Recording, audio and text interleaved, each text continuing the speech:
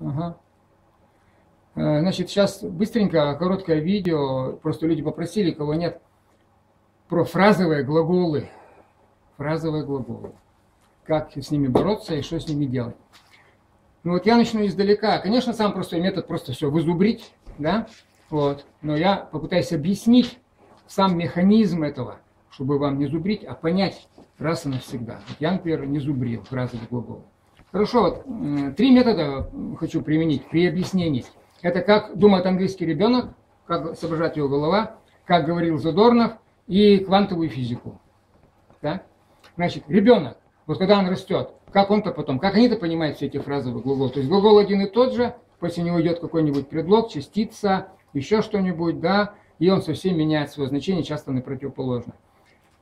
Поэтому, как ребенок растет в Англии? Вот он, допустим, начнем самый простой, самый простой предлог up, вот по Задорнову, да, как Задорнов говорил, что английский произошел от русского. То есть вот мы кидаем кверху, да, видно меня, да, как я кидаю? Вот. Вы можете поддакивать, можете иногда восхищаться, говорить, ой, Олег, как гениально, да, чтобы на камере, чтобы написалось, да, не стесняйтесь. Вот.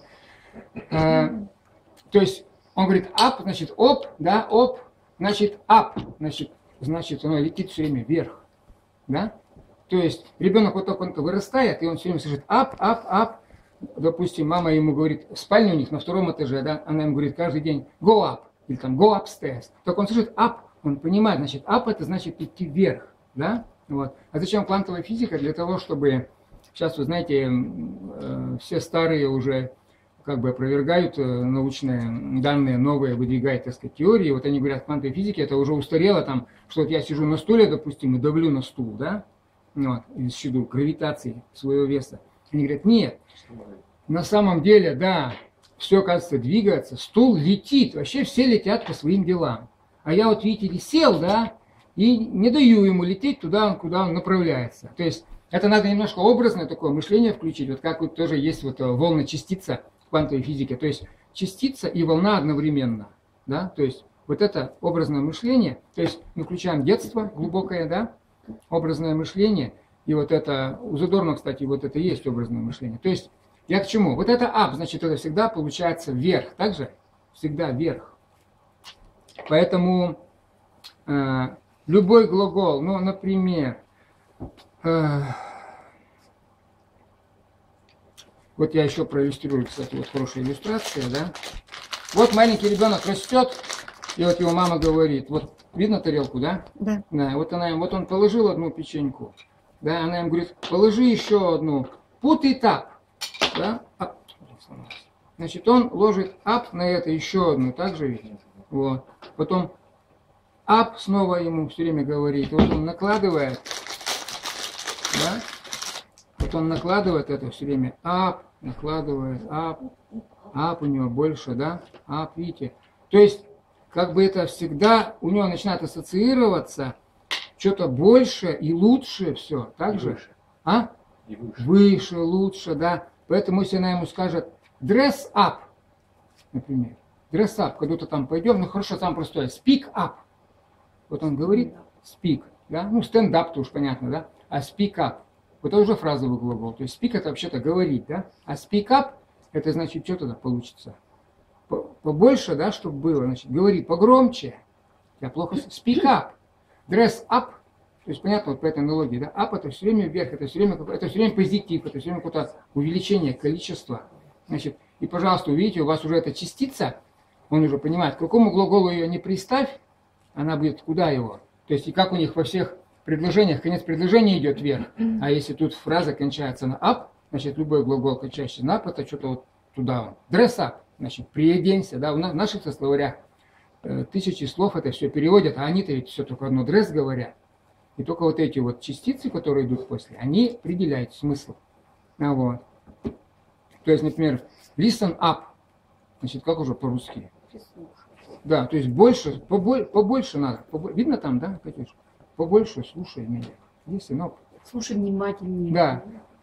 Второй момент, вот если говорить про квантовую физику опять, все дело в пространстве и в ориентации. Значит, он тоже, ребенок, ориентируется.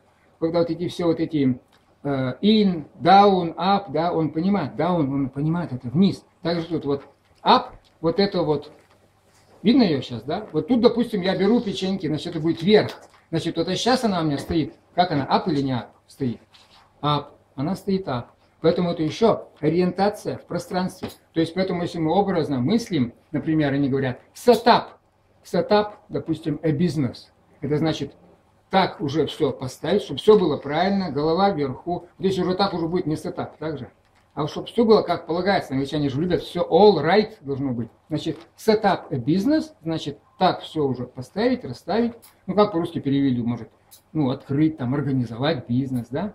Пожалуйста, вот вы понимаете, ага, a business, значит, правильно все поставить этот, этот бизнес. А, а, потом третий момент, вот еще такой. А, вот на эту тарелку я наложил бисквит, да, вот сейчас вот они там появляются, да, в, э, на камере, да, вот. Видите, что-то я снизу вам вот выношу, допустим, я бы вот там спрятал под столом, я начинаю поднимать, это называется bring it up. Значит, bring up, bring это носить что-то, да, а когда bring up, опять же, такое еще значение, что бы оно тоже поднялось кверху, чтобы стало всем видно. То есть, например, глагол, что вот я это подниму эту тему на нашем следующем встрече, например, да, или вот Люба мне скажет, Олег, ты на следующей встрече подними эту тему. Она сказала, Оля, bring it up on our next meeting, this subject, please. Bring it up. Значит, bring up, тему какую-то, как там переведем по-русски? То есть вот мы ее так поднимаем, то есть мы ее, ну, как по-русски говорят, подними эту тему, то есть, ребят, ну, русский-то... Раскрой. Да, раскрой, да, то есть вот. Ну да, так и есть, подними тему, да, bring it up. То есть, э, затем... Э, break up. Например, глагол. Тоже вот. По-французски поет, да? Хорошо как. Вот. Например, еще у слова up, у этой приставки up, какие значения? Когда они что-то ломают, да, считается, что как бы вверх вот так идет движение, вверх вот так, вот так. Up, вот так, да? Вот up. Когда что-то ломает, то тоже ребенок это видит все время вот так. Up ему говорят. Break it up, значит, сломать вот так. Поэтому у них уже, если идет глагол, допустим, эм, допустим, ну, break up, тоже фразовый глагол применяет, допустим, что э, какая-нибудь пара друзей, они друг с другом рассорились. Значит, они broken up, но получается было а, вот как, или там муж и жена одна печенька, да, как по-русски говоря. Если они поссорились, значит, they broken up, значит, они вот так развалились таким движением. То есть вот это опять же up. Потом еще идет fill up. Например, где у меня бутылка? Ну, нет бутылки, термос тут стоит. Значит, если он не полный воды, да, мама говорит ребенку, fill it up. Значит, fill up, значит, да, воды. долить, налить туда, чтобы он все время все вверх. Вот я пытаюсь вам объяснить. То есть везде, везде, куда up представляется, нужно образом, образ этот себе. И все тогда, и тогда не надо зубрить эти, понимаете, вы саму частицу когда поняли, она в любом случае вам пригодится. Также ведь up тоже, тоже говорите где-то, не только... Или, например, они говорят, I am fed up.